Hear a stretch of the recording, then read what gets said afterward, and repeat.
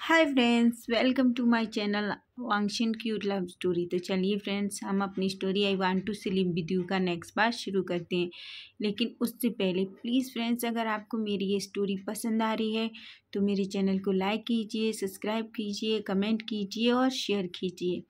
तो चलिए, पता नहीं फ्रेंड्स आप लोग सब्सक्राइब क्यों नहीं करते? प्लीज़ आप सब्सक्राइब कीजिए।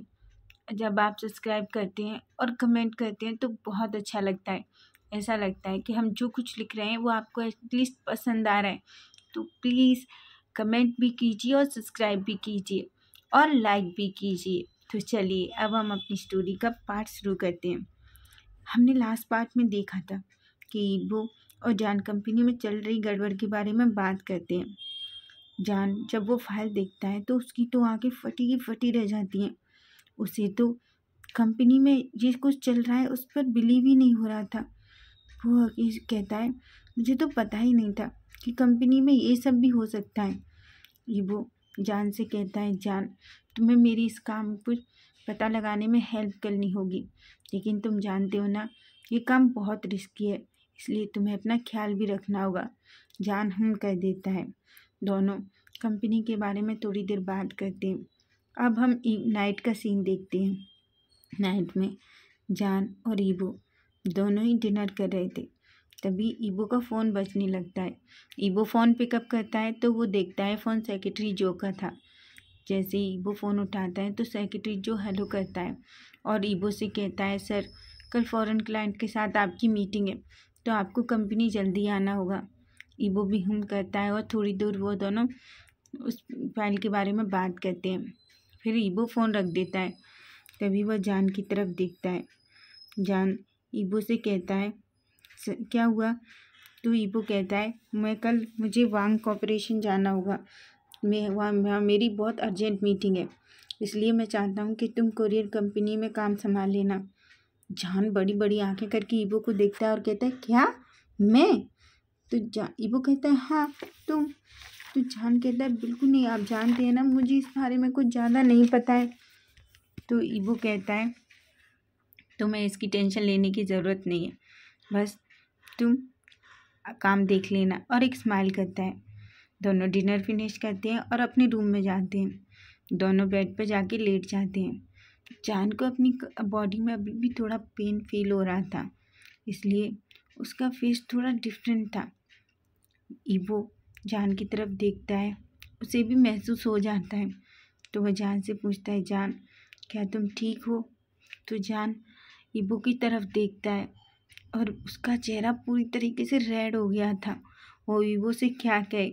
बस शर्म की वजह से हम कह देता है और अपना चेहरा दूसरी तरफ़ कर लेता है। ईबो ये देखता है और एक स्माइल करता है।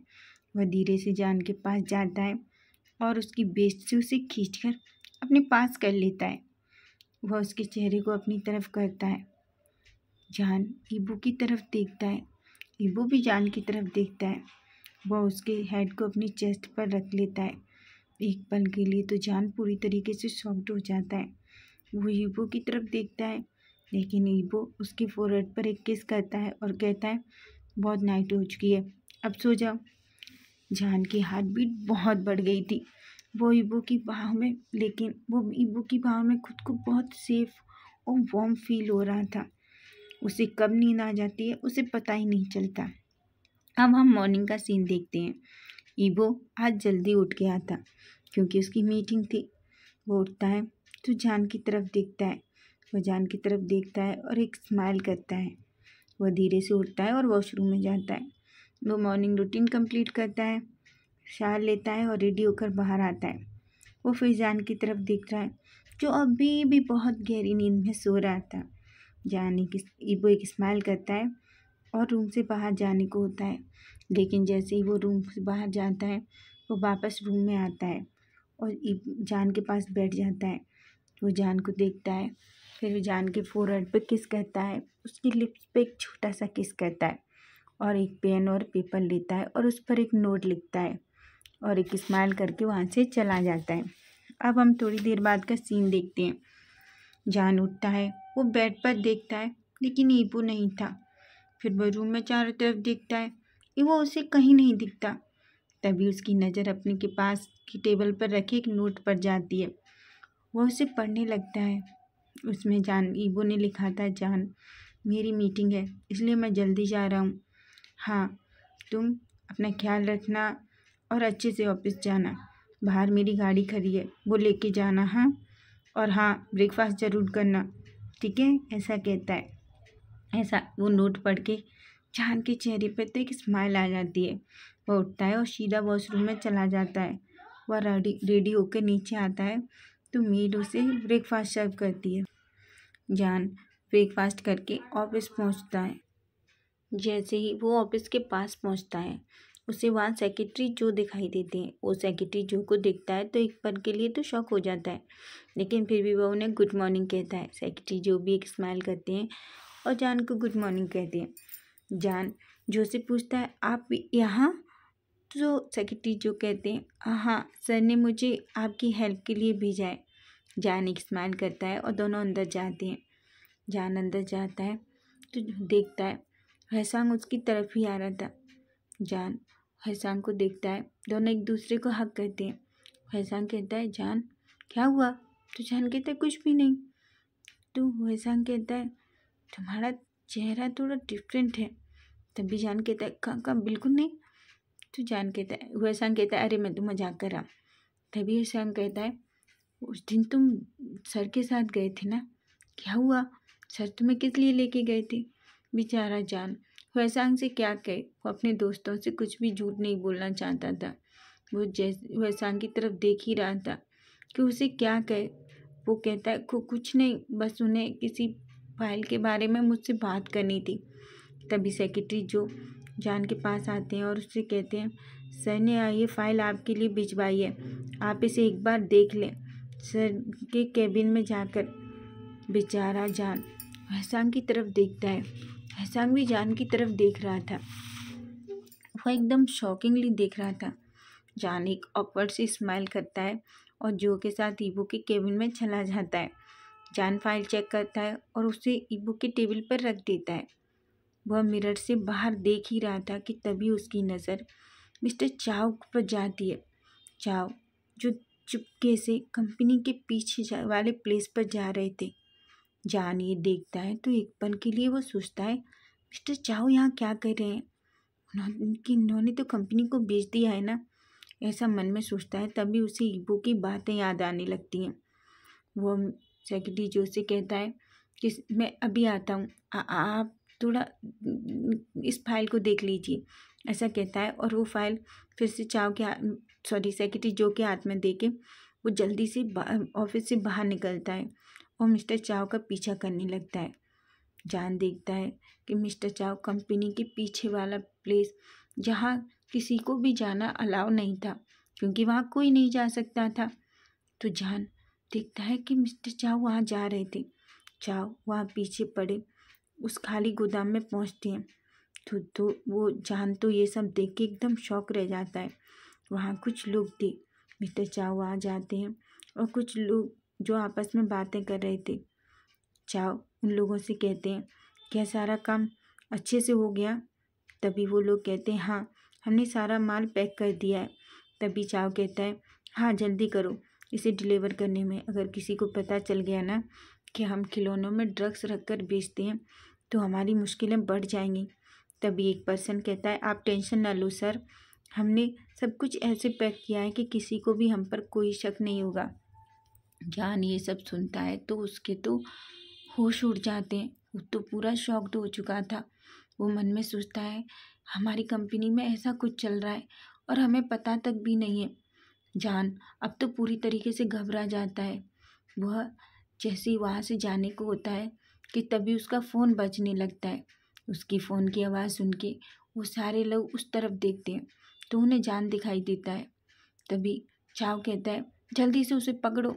जान भागने ही वाला था, लेकिन उसमें से एक पर्सन जल्दी से भाग कर जान का हाथ पकड़ लेता है और वो सारे लोग जान को पकड़ के अंदर ले आते हैं। वो लोग जान को पकड़े हुए थे। तभी चाव जान को देखता है और कहता है, जान तो तुम यहाँ क्या कर रहे थे? तभी जान कहता है, चाव से, मुझे मुझे बिल्कुल भी यकीन नहीं होता कि तुम इतने घटिया इंसान हो। तुम ऐसा काम कहते हो, तुम लोगों की जान के साथ खेलते हो। तभी वो पर्सन एक स्माइल करता है और कहता है, तुमने अच्छा नहीं किया, हमारा ये सीक्रेट जानकर तुम जानते हो ना, इसके बदले तुम्हारी जान भी जा सकती है। जान ये सुनता है तो एक पर के लिए घबरा जाता है। लेकिन वो कहता है, ये सब ठीक काम नहीं है, तुम्हें इसे रोकना होगा। तभी वो कहता है, तुम कौन होते हो मैं रुकने वाले? ऐसा कहता है और जान की चिक्स पर एक स्लैप मार देता है। जान, चाव को बहुत सारी गालियाँ दे रहा था, लेकिन उसे पकड़ के रखे तभी चाव कहता है, जल्दी से इसका कुछ करो। जब और जल्दी से सामान को पैक करके यहाँ से भिजवाओ। और तभी उसमें से एक पर्सन कहता है इसका जो कुछ करेंगे बाद में। तुमने देखा है कितना ब्यूटीफुल है। क्यों ना इसके साथ थोड़ी देर खेला जाए, ऐसा कहता है, और वो आपस में हंसने लगते हैं। तभी चाव कहता है, जो करना है जल्दी करो इसके साथ, और फिर इसको ठिकाने लगाओ। मैं नहीं चाहता किसी को पता चले कि हम क्या काम करते हैं। अब ये सब सुन के जान की तो पूरी बॉडी शिवर करने लगती है। तभी एक पर्सन जान को गलत तरीके से छूने लगता है। जान की आँखों से आँसू आ रहे थे। जान बहुत ज़ोर से चिल्लाता है, दूर उठो मुझसे, छूना मत। मैंने कहा ना, दूर रहो। पर वो पर्सन हंसे जा रहा था। जैसे ही वो पर्सन जान को छूता है, जान उससे दूर होता है और जान उसे उसकी तरफ़ अलग तरीके से गुस्से में देख रहा था। उसकी आँखें रेड हो चुकी थी। वो पर्सन जान को ऐसे देखता है तो जान के चेहरे पर फिर से एक स्लैप मार देता है और वो कहता है तुम हमें इस तरीके से क्यों देख रहे हो? जान तो पूरी तरह शॉक्ड हो चुका था। जान को तो जैसे ऐसा लग रहा था कि बस ये उसके आखिरी पल है। एक पर्सन फिर से कहता है, क्यों ना इसके साथ थोड़ी देर खेला जाए? देखो इसकी स्किन कैसी है। इसकी स्किन तो लड़कियों से भी ज़्यादा अच्छी है। ऐसा कह के वो उसके पास हाथ ले जाने लगता है। लेकिन तभी उसी पर्सन के चेहरे पे ऐसा पंच पड़ता है कि वो पर्सन जान से दूर जाके गिरता है।